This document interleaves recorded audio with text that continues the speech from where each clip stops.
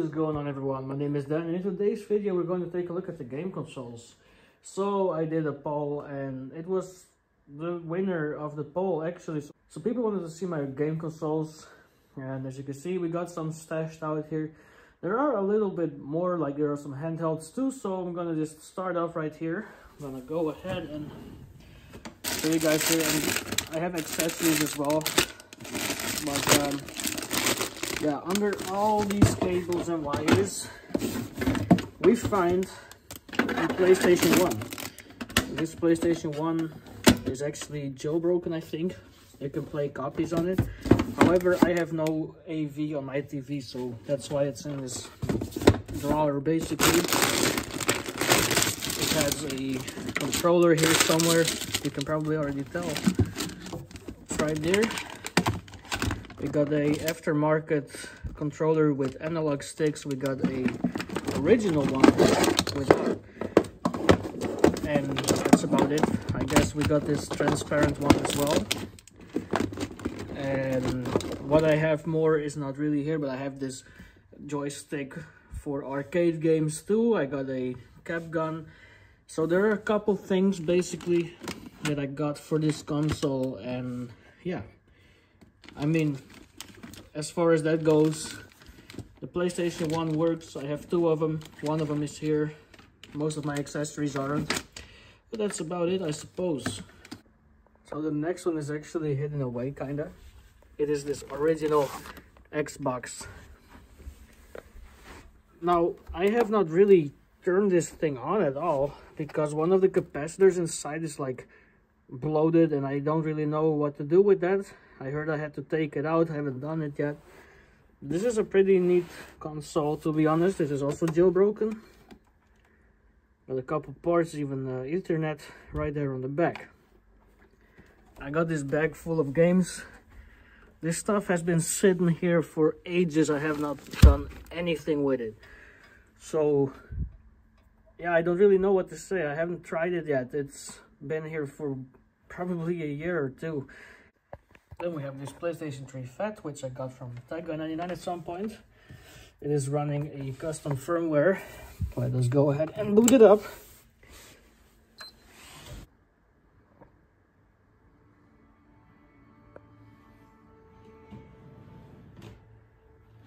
We got some games on here, got 15 PlayStation 3 games and stuff. Some uh, nice stuff to be honest. This is a jailbroken console, so let us go ahead and see what this is running on. Basically, it's a 500 gig drive. It's running 4.84. It's on Rebug, so that's basically custom firmware. I don't really think there's much to add to all that. Then we have my Xbox 360 Slim. And actually, this thing has not been used a lot. This is probably an Xbox 360 with less hours on it than what you would expect. I think the only way to actually get one that hasn't been used less is to buy something that's still sealed. This also works fine. And we got the controller. We actually have two controllers for it, but um, here's the uh, the black controller. It is dead. There we go. For the sake of this video, I have just enabled this controller. So yeah, here we go. This is the Xbox in action. So it's just running one of the more recent firmwares, I'm pretty sure. And it has been reset, so there's not really much on here. I suppose there might be games on here, but I think they wiped my entire... Oh no, we actually got stuff. Yeah, as you can see, there are some games on here too, so that's about it. And after 3 comes 4, so I need to really clean the dust on time. Then we got the PS4 Pro, as you can see here, got a extra hard drive. I got this cradle, which my old PS4 used to stand up on. It has two controllers, um, basically there are more, but yeah, I'm not really sure where they are. I think there's two of them with the computer, but who knows. So this thing also works completely fine. Not really sure. Oh, nice. Still got some power left in the controllers. I no longer have a PS Plus subscription and it also needs an update, but you can tell here that I got some games in here. There are some pretty neat games in here, to be honest. We can even take a look at all that.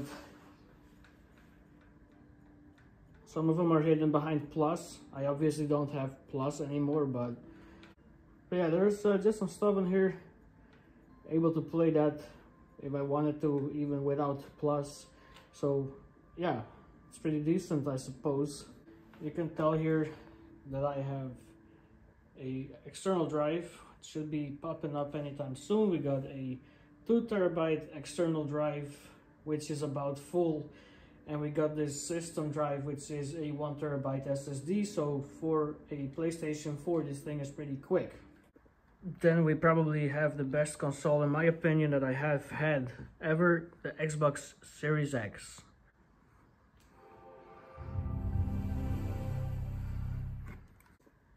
so my Xbox Series X has a Tom and Jerry skin in a matter of fact the one where the safe got on top of Tom and he got out all square. I thought it was nice to kind of meme a little bit what this console looks like because it's obviously a big square or rectangular box. So I thought that was pretty funny. And the, the way that this thing is really silent is pretty cool. I'm not all into that uh, console wars stuff, I really don't care. But I'm a big fan of Forza and that's why I got the Xbox. So you can see we got a couple games here. Well, let's see. You know, I got some games on here. Some of them are Game Pass. I'm, I think the entire Game Pass library is showing right now. So here we go. You can kind of see the games that I have on Xbox. These are the ones that I own. So a lot of games actually. And then we got the entire Game Pass library as well. So I don't really have to get into all that, but it's pretty cool. This is basically my main console if I play a game. I usually just boot this up and let's go and play some game on here and it always works. I also got a fair bit of accessories with it. Here is a charging cradle. And that is not for my controller that I'm using right now because the controller I'm using right now is a Lunar Shift. And as you can see, I've been using that a lot. Uh, it's showing its, you know, age already after two years of almost daily usage. The charging cradle is for my Rage controller. You can clearly see that this thing has been like seen better days, but strangely enough, it still works perfectly fine. Then we got uh, the, the other controller that I officially got with the console, which is not the Rage controller, obviously. This is the uh, non-Rage controller. I got three controllers I wish I had four, might have four soon. This is basically the setup. We got three controllers. One of them is a Rage controller for your hefty games that are gonna make you mad as hell. Just grab the Rage controller and uh, let's hope it survives the playthrough. Then we got my headset. This is a JBL Quantum 400. That's what I use. So I also have some physical games I wanted to show real quick here we got a couple games. We got Driver 2, Tekken, Tom Clancy's Rainbow Six Rogue Spear, Tekken 3. I'm not really sure. There's a PS1 disc in here as well. I think that's Driver. Yep, it is. I, I don't have a CD case for that for some reason. And then we go and take a look over here. We have Need for Speed Rivals for Xbox One, uh, Black Ops, Modern Warfare 2, episode from Liberty City, GTA San Andreas, GTA 5, Burnout Revenge, Splinter Cell, Mech Assault, Black Ops 2, Modern Warfare 3, Ghost, Saints Row, Skate, Just Cause. We got another Black Ops 3 here. Completely destroyed the case at some point. Titanfall, Destiny, Far Cry Primal, Battlefront, Battlefield Hardline, another GTA 5, Forza Horizon 2, Little Big Planet 3, Sleeping Dogs, Black Ops 4, Advanced Warfare, Infinite Warfare, Red Dead Redemption 2, Dying Light, and the original Forza Motorsport. Now, there's a disc here. This is actually pretty interesting. This is Advanced Warfare. Now, let's go ahead and open that case up real quick. This is an actual promo version. I don't know. I, I have it. If I try to play it, my game crashes. I have no clue. But I have an actual promo version right here of mm, Advanced Warfare. I don't really know why, but it's uh, it's pretty interesting, I suppose. And here's the game PC. And if you watched my video on that, you probably already knew it has some issues. As you can see, one of the RAM sticks is missing. I have a broken RAM stick, which is making my computer crash the whole time. So that is no longer in there. But it works, it's running Windows 11. I got the curved monitor here. It's a Samsung Odyssey G5. I can boot it up real quick. I got the controller here, which is a... Hey, hold on a second. I got another one of those. So this is the Nacon Revolution. This is also a controller for PlayStation. This is a wired controller which has mappable buttons and a Xbox layout. It actually came with my PS4 Pro, but because I got it right there with the computer, I thought let me mention that thing real quick as well, because I got two of these kind of controllers, which is uh, actually pretty cool. This is a Nacon not really sure what it is. It's a Nacon. It is a Xbox layout controller without extra buttons and it comes with this USB transmitter. There we go, booted it up. As you can see, that's no peep. This artist means a lot to me, so that's why I got him as my wallpaper. Um, well, here are my specs. Single channel. Yeah, this is uh, basically what my specs are. I got a, disconnected SSD in there as well because I thought that was giving me problems. Turns out it was my RAM all along. These are the specs. If you're finding that interesting, it's a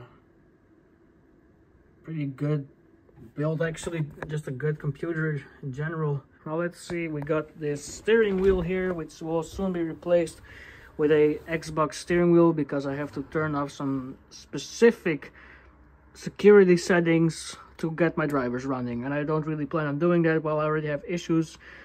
It's a pretty good steering wheel. This thing is awesome. It's uh, it's probably the coolest looking one with the little lights in here, but it's time to upgrade so I can use it on Xbox and I can actually go ahead and uh, you know use it on my PC as intended. Starting off the handheld consoles, here we have my PSP Go. Unfortunately, the case here is starting to show its wear and tear despite not being used that much. So this is the PSP Go. As you can see, it's in a crystal case. Turns out these things are pretty rare. I even got everything with it. The box and everything. It's probably dead. Pretty stupid how that happens because this thing is not really being used all that well and still my battery decides to just go ahead and die on me here we go and this is also running custom firmware so i got some games on here that i like i got twisted metal head on stuff like that liberty city stories Vice City stories drivers 76 uh, I thought I actually had PlayStation 1 titles on here, but I don't. I have to jailbreak this thing myself at some point because there was something wrong with my custom firmware. Uh, it's crazy how fast and easy it is to actually go ahead and jailbreak one of these things, but here we go. You can see here we got um, 6.61 Pro model 05G or something for my Mac. I don't freaking know what that all means, but this thing is pretty good. And I think they're pretty rare too nowadays. I'm gonna hold on to it. It's my uh, favorite PlayStation portable anyways. I mean, except from the PS Vita, which is more cool, but I don't have one. This thing here, probably the nicest PlayStation portable they ever had, I think, but maybe the, you know, opinions differ, but for me, this is the nicest one. So then we have the Nintendo DS. this one belonged to uh, someone who is no longer here. Uh, yeah, that's why we got this thing here. I don't have any games on it right now because the touchscreen is kind of strange. I think that when we go ahead and take a look at what it does, you could kind of see that, but at this point, I don't really think there's a point. We go in here and do the touch calibration. At this point, it actually seems to work completely fine, but it will just go ahead and be weird. I don't really know what the cause of that is. It does have a stylus. It's yellow for some reason, no problem. Yeah, it's just a nice DS. Not really planning on using that because, you know, it's it belonged to someone who's no longer there. So, then we have this, my most recent DS. This is a DS Lite as well in, I think it's cobalt blue. I bought this thing for super cheap. I think I paid like a buck or something for it. Maybe even less. It got TTDS on here. I think there's also an R4 card in here somewhere, but this is TTDS. Got some games on here, the Super Mario Bros, Need for Speed, Chinatown Wars of course, Brain Assist, Brain Buster, Brain Challenge. These are the games I put under apart from, I think, these two. And this one just works fine, no problem with the touchscreen whatsoever. I like how I got it for super cheap. It also comes with the stylus. Not sure if this is the original housing, however, so that's upon discussion. We got some cards. My little pet shop. This, this stuff came with the console, so we got cats and cats. Oh, cats too and cats. Cats and Katzenfreunde, yeah. If you like those type of games, then it would be nice for you to have this got some Hannah Montana. Holy crap. That's a blast from the past, isn't it? Then we got Nintendogs. And I think this is where the R4 card is. And this R4 card works. However, I don't know how to fix that Chinatown Wars. I, I think I need a patch for it or something. Here's the actual R4 card. It also came in this metal box. So I couldn't really not buy it for the price that I paid, like a buck, like one buck for perfectly working DS. I'm like, you know what? That's mine now in the box. That's mine. so yeah, this was uh, the video of my consoles. I hope you enjoyed it. And if you did, don't forget to leave a like, leave a comment. And if you're new to my channel and don't want to miss out on any new content in the future, don't forget to subscribe. Thank you for watching this video and see you all later. Peace out.